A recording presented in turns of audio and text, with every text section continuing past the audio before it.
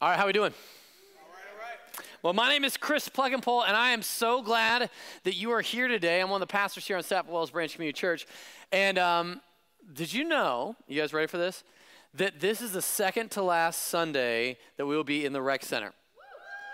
And that is especially important because this morning, as I uh, came in, there was like a tractor trailer parked in the parking lot of the rec center that like took up the entire parking lot, and that was a little frantic moment for me. And then there, I think there's actually bulldozers uh, parked in different spots out here, and you're just like, what's that all about? Well, they're, they're building a skate park like right next door to us, which I'm all for skate parks. But Sunday morning, really? Anyway, uh, so uh, that so that sort of frustration is going to be like minimized as we get our own space. Aren't you guys excited about that? I mean, we've been talking about this for like forever, like really forever. And so May 6th is sort of like, um, we call it Family Sunday because it, you know, when family comes over and your house is a complete disaster and you didn't like sweep and mop and dust or anything, you know that nobody's going to judge you. Just go, that's because it's family. Just walk in the back door through the garage or something. And then May 20th is when we're going to have stuff together. Does that make sense? That's sort of like when we're we'll have like all the final painting done and like everything looking really fun and awesome. And that's like the open house for everybody. And we'll be really, really, really excited. Uh, so, but May 6th, if you're comfortable with family, like you consider yourself like I'm in, like we're family, like we know each other that well, then you're coming May 6th. And then if you're like, um, I need it to be perfect for to show up, May 20th is more of when you would show up, okay? And then even then, don't judge us because you never know what's going to look like on May 20th. All right. so speaking of new things, uh, you know, you know uh, how many military people do I have here? People have served at some point. Okay, good. Uh, I, I, I went to the Army uh, back in, man, 1995. Can you believe it was like, that is like, whoa. That was a different millennia. All right. So, uh, but when I went, um, I had literally no idea. I went to West Point uh, because of some recruiter that showed me like a you know a, a, trifold that had pictures of cadets with swords and then soldiers with guns, and I was like, so I get to wear a sword? And they're like, yeah, yeah. When you're a senior, you wear a sword. I'm like, sign me up. Didn't ask another question. Never researched a thing.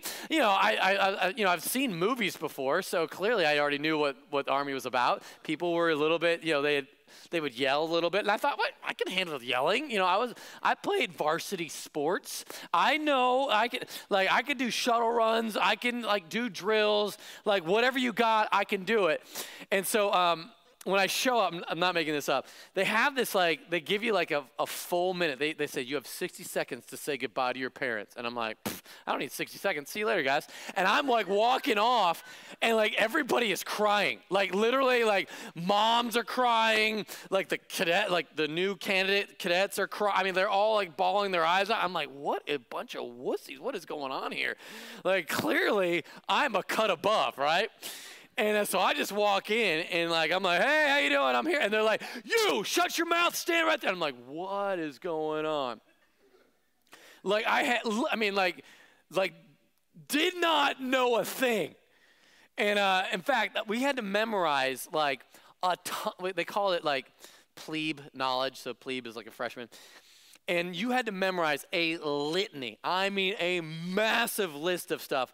Uh, one of them was like Schofield's definition of discipline, which was written in 1879. All right, so it went something like this the, the discipline which makes the soldiers of free country reliable in battles, not to be gained by harsh or tyrannical treatment. On the contrary, such treatment is far more likely to destroy than to make an army. It's possible to impart instruction, give commands, such a manner, such tone of voice as to inspire in the soldier no feeling but intense desire to obey, while the opposite manner and tone of voice cannot fail to excite strong resentment and desire to disobey. The one mode the other of dealing with subordinates corresponds with the corresponding spirit within the breast of the commander. He who feels and uh, the respect which is due to others cannot fail to inspire in them regard for himself, while he who he feels and manifest disrespect towards others, especially his subordinates, cannot fail to inspire hatred against himself.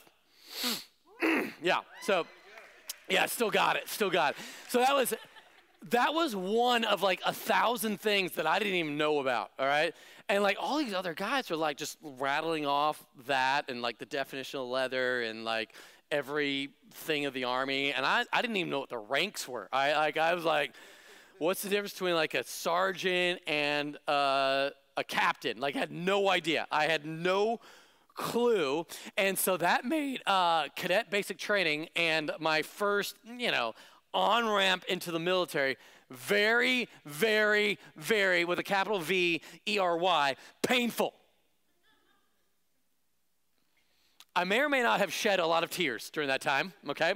And uh, in fact, I was like, Cadet, are you crying? I'm like, my contact. I don't even know if we were allowed to wear contacts, but so I said. Anyway, um, yeah, it was, it was, it was, uh, it was a painful time. And I, the reason why I bring that up is there's a lot of us here that are new Christians. Like you're just like, you're brand new, or you're, you, you had a lot of baggage coming into Christianity, and you're kind of like starting over here, and we're so glad you're here. Like we are grateful for wherever you are in your spiritual journey.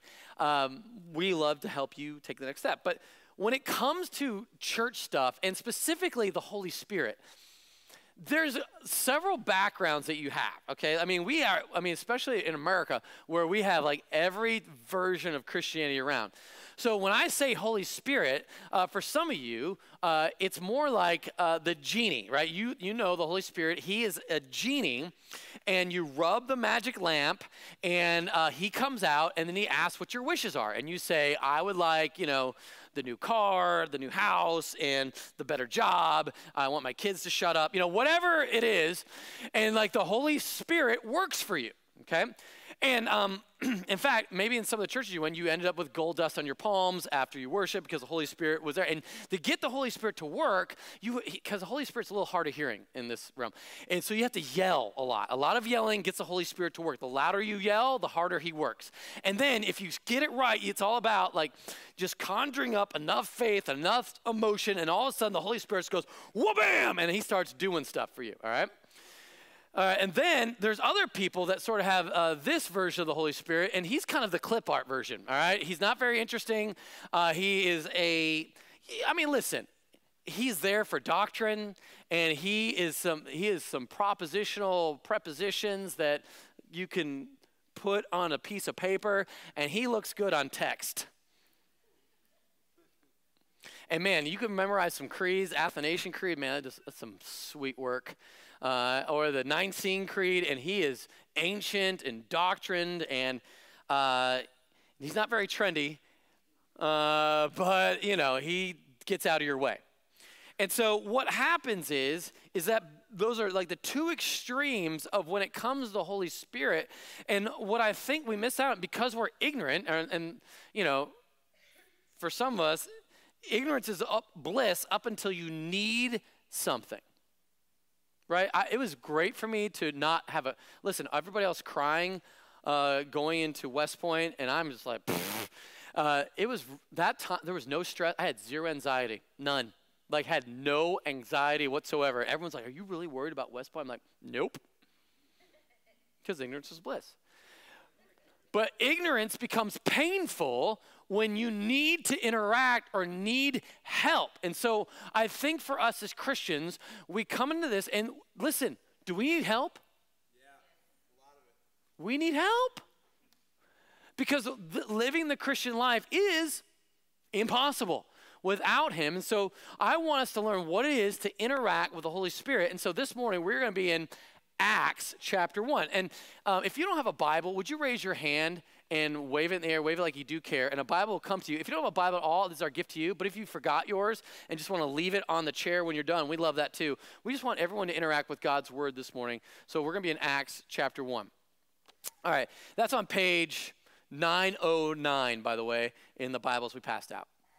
So last week, Pastor Phil talked about Jesus hanging out with the disciples before he ascends, like physically floats off into heaven. And uh, everyone's sort of staring up the clouds, going, I wonder when he's coming back. And then angels appear and say, What are you guys doing? He'll, you know, get to work. Uh, he'll send the Holy Spirit, and you're going to get ready for it. So they go and get ready. That's where we pick up the story. Acts chapter 1, verse 12. Then they, and the they is uh, the apostles, the disciples, everyone that's sort of been following Jesus around for 40 days after he rose from the dead. They returned to Jerusalem from the mount called Olivet. So if the Mount of Olives, that's where Jesus was betrayed. Okay, so that's where it's that's where they went, which is near Jerusalem, a Sabbath's day journey away.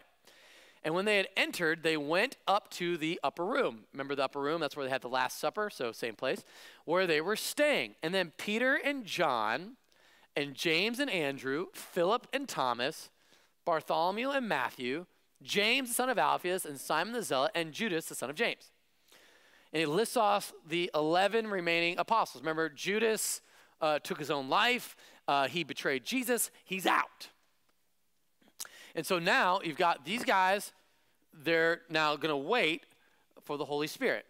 All these, with one accord, were devoting themselves to prayer. So we see that, like, kind of the very first thing the early church did was they, they started meeting regularly to pray together, which is what you would assume people would do. And then it, it gives like a list of the people that were with them. And I, this to me, I, this isn't the main point, but I just thought it was interesting.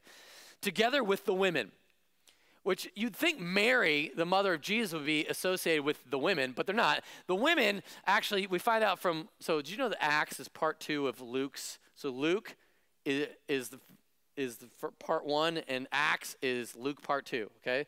And so in Luke 23, we found out the women are Mary Magdalene, Joanna, Mary, the mother of James, and the other women. So there's a bunch of women here, but these are the women, the ones that discovered Jesus tomb was empty. They kind of got special treatment.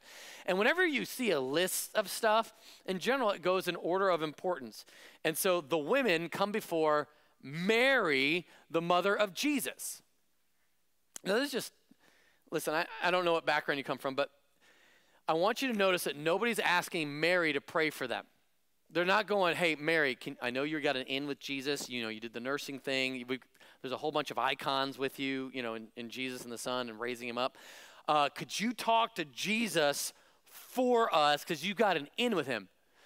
They're not doing They're talking, they're asking, they're going to God directly because there's the, the perfect intercessor of Jesus who died on the cross for our sins and rose from the dead. And they have, we have access to God through him. And so what, listen, if you're ever wondering how this whole praying to Mary thing came about, about 500 AD, um, that's when the Dark Ages started and the Word of God became less and less preached or known. And so Jesus seemed like this high off figure. And so Mary seemed like someone that you could really get in touch with. She just seemed like way more loving. And but then Mary, she kind of was really high up there. So you go to Anne. Anne was Mary's mom. And so you talk to Anne, Mary's mom, to talk to Mary, to talk to Jesus, to get your prayers answered, okay? And so there's a lot of middlemen that came in really from the 550. In fact, the Pope just sort of went with it after a while, like 600 something. Uh, they praying and venerating Mary became part of religious ritual that you would do. So, good news for us, we can talk straight to Jesus. And as we see here, nobody is asking Mary to talk to Jesus for them. She's just one of the people praying alongside uh, the apostles and disciples. Now, this next one I thought was really even funnier. And his brothers. Do you know who the brothers of Jesus are? So there's a book of the Bible named after one of them, James. You know James, like if you get turned to the way end, James. That's Jesus' oldest brother, or youngest, younger, oldest brother. So whenever Jesus dies on the cross, he's raised from the dead, he made physical appearances to different people, and James, his oldest younger brother, was one of them. And you could imagine what that was like. James, what's up? I'm God. You know, uh, I mean, and you know, they thought he was crazy. They kept trying to pull Jesus. You know, he'd have meetings with the disciples. They're like, Jesus, we need to take you to a special place where the people who think they're God live. And they have really nice padded rooms and a lot of people dressed in white. It's almost like heaven. You know, like they were kind of trying to get him to kind of come away with them. And, and Jesus like, you know, who are my brothers, my sisters, my mother? They're the ones who do the will of God. And they were kind of shunned in that moment. But here James is like, joke's on me. You really are the Son of God. All right. So they're all meeting together. And the apostles, I want to think this, this is important. The apostles waited on the Holy Spirit by devoting themselves to prayer. Now, this is important. This is important. Because, in, well, I'm going to speak for myself. I'm not a waiter. Like, I'm, I stink at waiting like I like showing up early to places. Like if we have a meeting, now listen, I won't go into your office before the exact time, but I'll sit in the because that's rude. Okay. All right. All right. What I'm going to do, I'm going to sit in the parking lot until about one minute before, and then I walk in and bam! All right, I'm not going to take up your waiting room space. I'm going to be there right at the exact time. Okay? Because I don't like waiting, and I know you don't like waiting, and I want you waiting on me, but I don't want to be any, I want to make sure that I'm prepared and plan. All right, listen. I like being in places early. I like things happening when I think of them. And that um, is challenging because I think a lot of our culture is designed that way. And then I get married to somebody that, in general, doesn't think like that. I don't, is anybody like an on time person married to a not on time person? That never causes conflict, ever.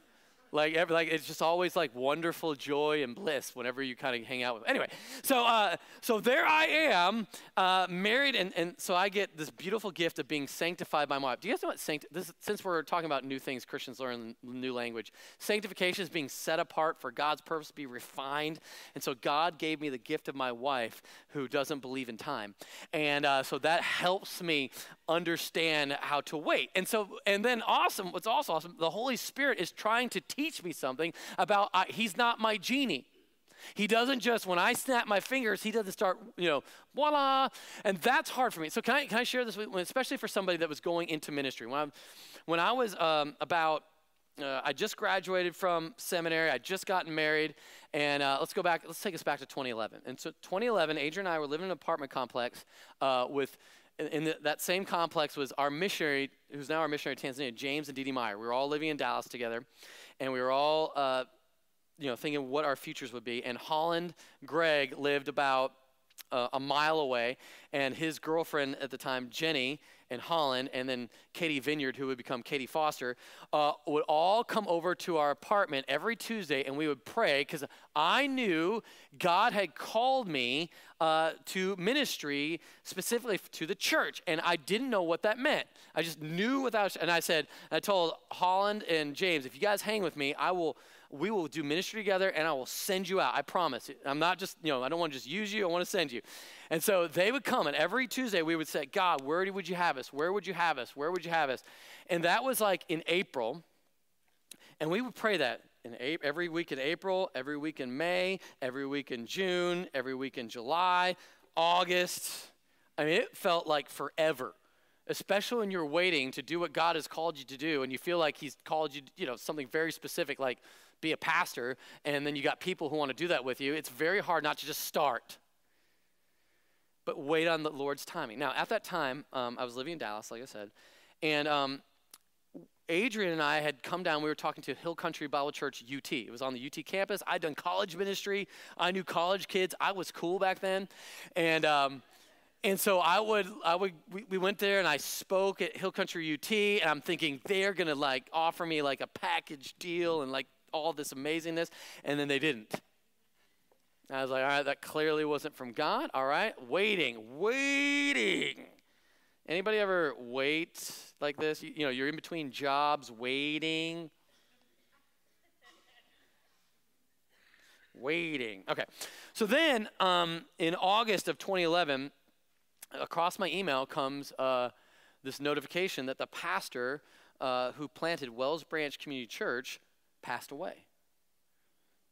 So if you don't know that, uh, Todd Wortham uh, planted this church in, 2000, in September of 2009. And so in August of 2011, not even two years into it, he passed away.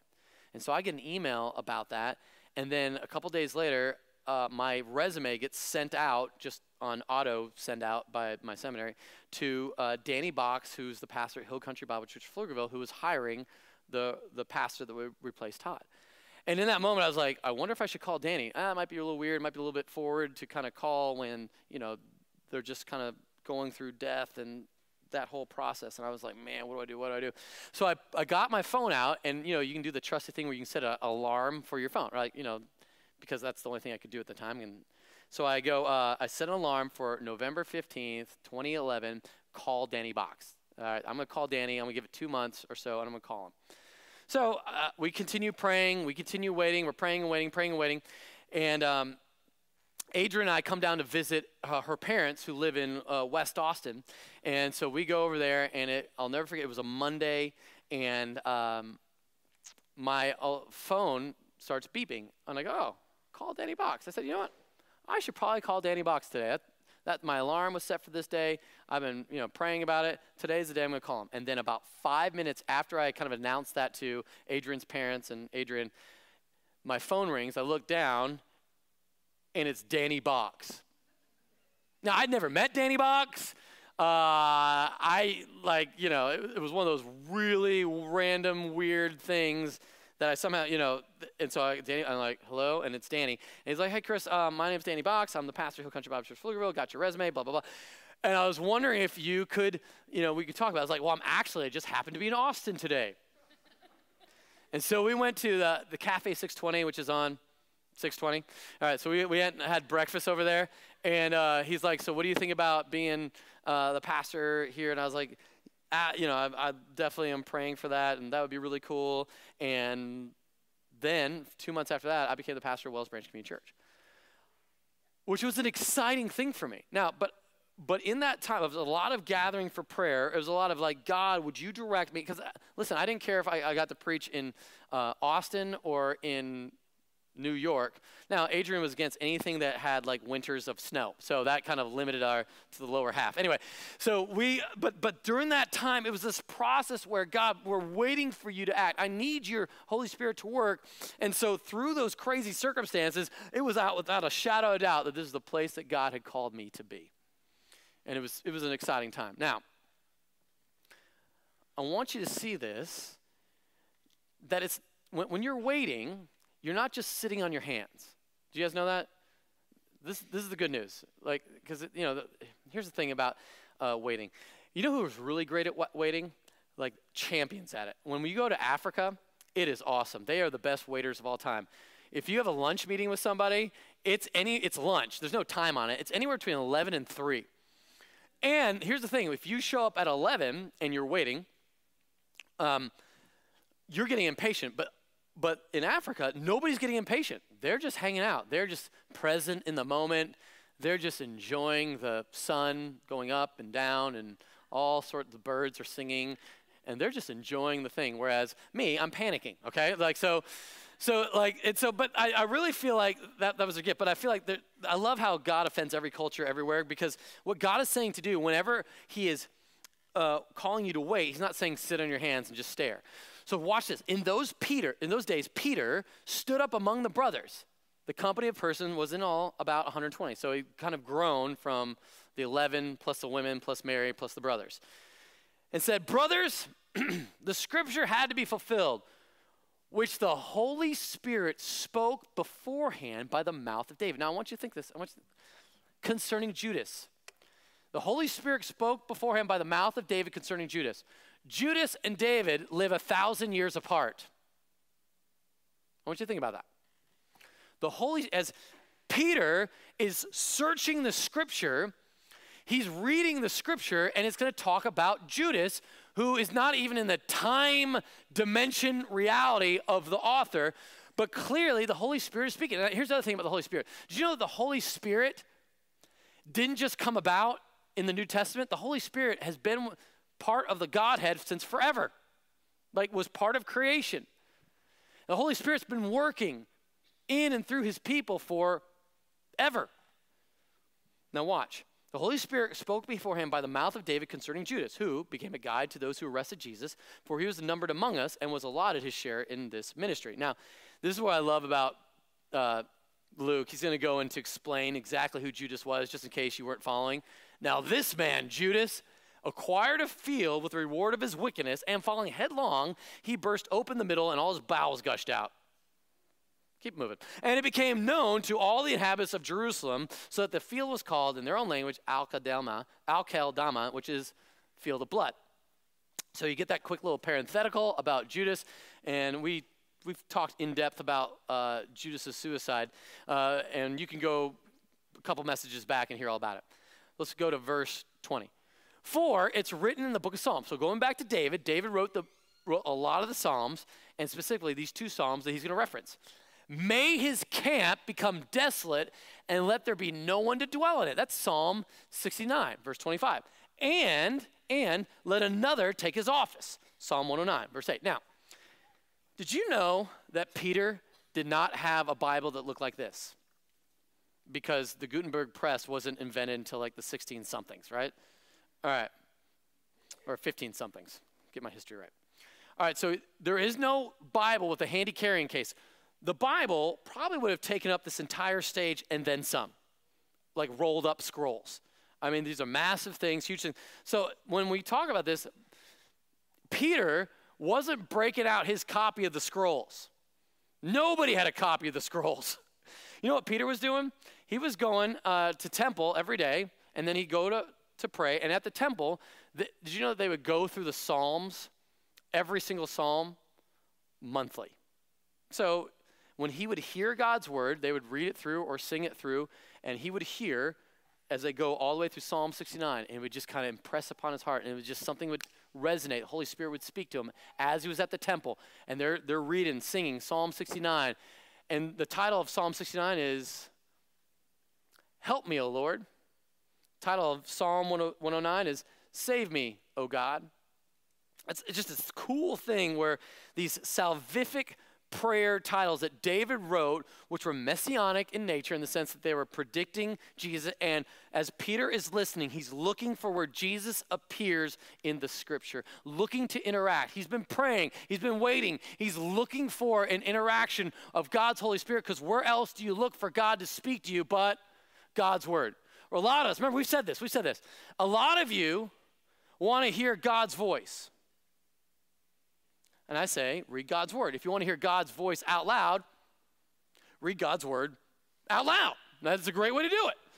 And so here it is. He's, he's interacting with the scripture, and all of a sudden, here's what the Holy Spirit does. You guys know this? When you read God's word, the Holy Spirit speaks to you from behind the text and illuminates certain things to resonate with your spirit. You know how I know this? You guys already do this. You guys already do this. Um, where are my single people at? Can I just get a whoop or something like that? All right. Okay, whoop. I'm sorry. it was not that exciting. All right, listen, would you enjoy your signalist for crying out loud? You have no idea how good your life is. Okay, um, all right. all right, so check it out, check it out. Listen, you know, but you know the exciting thing is like when you're dating. You guys, you guys remember this? Or like, or like when you like somebody and you're not sure if they like you. Get, can you guys remember this?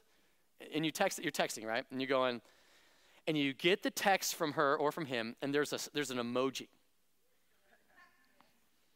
And you're trying to decipher what the emoji means. It's like, it's a smiley face. And, and then that's when you go, oh no, it's just a smiley. It's not a laugh, it's, there's no teeth showing. And then what you do is you get all your friends around and you're like, what does it mean? Right? Okay, and you're inter- the reason why you're doing that is you're interacting, you're interacting with the words, but there's somebody on the other side of the words. So when you interact with, with they're just words. They're just words. But the reason why you try and figure out what it means is there's somebody on the other side of the words who loves you and is very interested in you and has a really specific plan for your life. That's why you get into God's word because this text opens up and when you come in expectation the holy spirit has a word for you then what happens is it, it gets you like what are you trying to say to me god what are you trying to say to me? And that's so as peter is listening he's like what are you trying to say? What are you trying to say to me? And then it hits him. Verse 21 So the men who have accompanied us during all the time that Lord Jesus went in and out among us, beginning from the baptism of John until the day when he was taken up from us, one of these men must become with us a witness to his resurrection. So he's saying, we're going to fill the spot that Judas left, and that guy is going to be who's with us from John the Baptist's baptism of Jesus all the way up until now and he's going to be a witness to the resurrection. Now, listen, it's not a witness to his teachings. It's not a, Jesus had this really sweet thing called the golden rule. Man, it's awesome. It's going to change the world. Uh, he had this way of like positioning power and authority. You know, the, the last will be first, the first will be last. That's not what they were all. Listen, we're going to be not witnesses to his teaching, but to the resurrection that Jesus came. He died on the cross, he rose from the dead. And that was what they were all pumped up about. But here it is the Holy Spirit spoke to Peter through God's word. and I was I was trying to figure out how to best explain like how this happens uh, to you, and I have a real life example I want to share with you. So, hey, Joe Seastat, would you mind coming? Joe's one of our pastors here with us at, at church, and um, I would love for Joe to be able to share with us just a, a he's got a crazy announcement, and then through that crazy announcement, how has God revealed Himself through His Word? Um, what the next part of your life is like. Sure. Thanks, Chris. Um, just to give you guys a little bit of context, you know, we've been here for two years. Uh, coming here was a was a really big deal for my wife and I and our family. We had four kids at the time. Uh, left a kind of full time career in Cleveland, Ohio, and the elders and Chris made an amazing way, and the Holy Spirit made an amazing way to bring us across the country to come here. And since we've been here, it's been amazing. When we moved in, we had people kind of working on our house ahead of time, unpacking bins, uh, welcoming us, the young adults and the young adult ministry for the well, uh, welcomed us and our family open arms with Forge and other events that we did, Friday volleyball.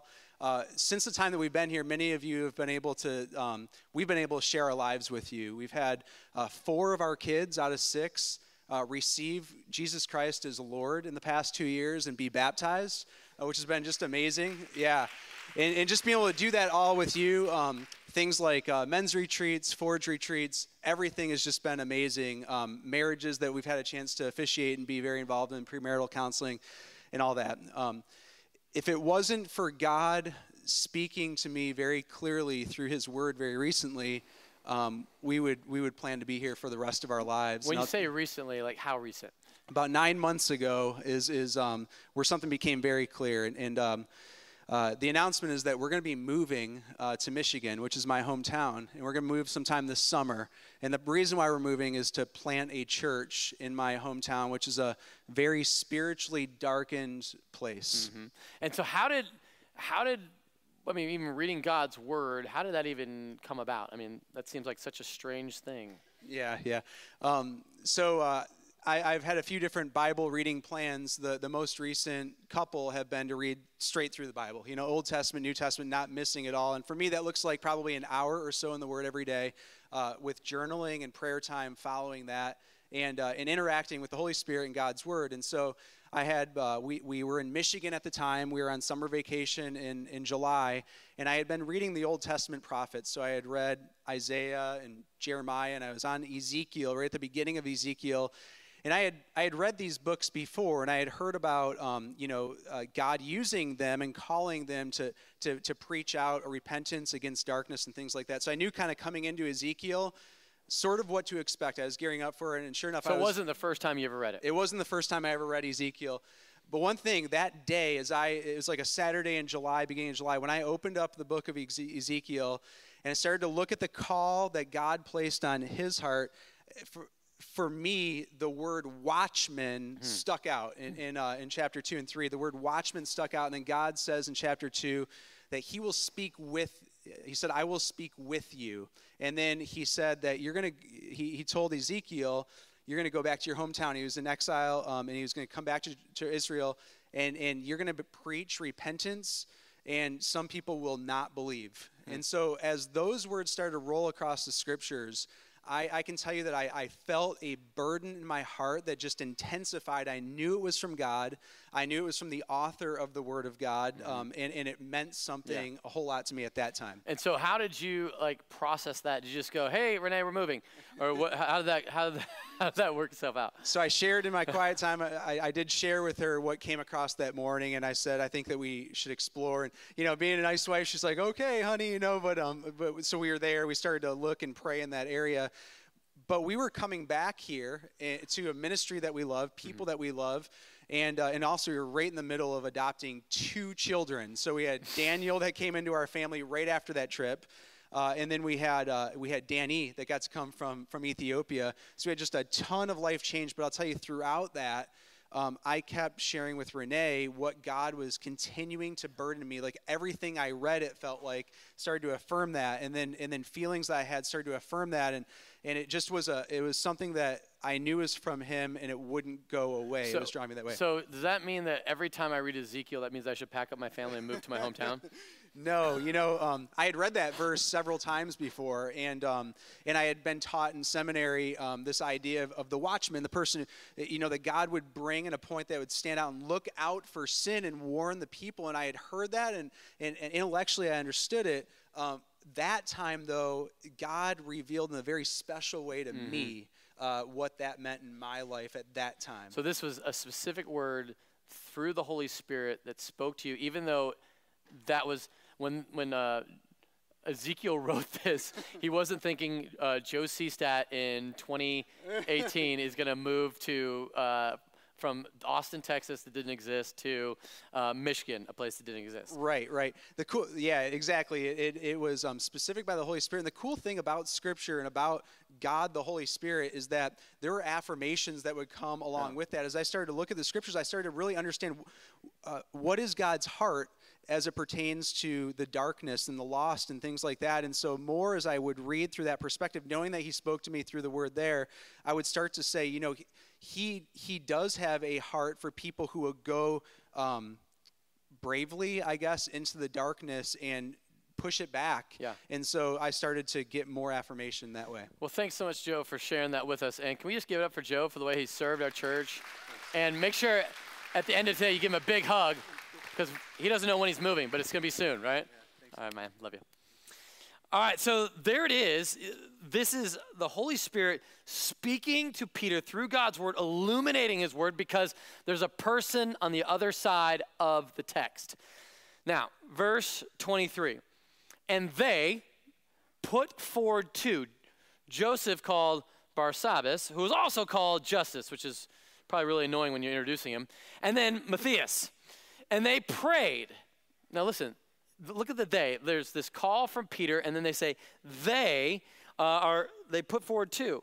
And here are the guys that have been, for, been with us since that time. Which one? Now, watch this. And then you, Lord, they said, who know the hearts of all, show which one of these two you have chosen to take the place in this ministry and apostleship from which Judas turned aside to go to his own place. And they cast lots for them. I can't think of anything more unspiritual than casting lots. It's like, all right, flip a coin. What, which one do you think? I mean, this is what I, I, love about that is that they didn't go, all right, Lord, I'm waiting for the light to shine on Matthias. Ready, go. And then Matthias lit up. It didn't happen like that. And the lot fell on Matthias, and he was numbered with the 11 apostles. Now, look at this the Holy Spirit used those who waited on and trusted in him to launch his mission. Now, I want you to see this. This is, this is so important. The mission of God has a church. The church doesn't have a mission. Does that make sense? Because you're like, whoa, whoa, whoa, no, the church has a, no, no, the, the church has a mission because the mission has a church.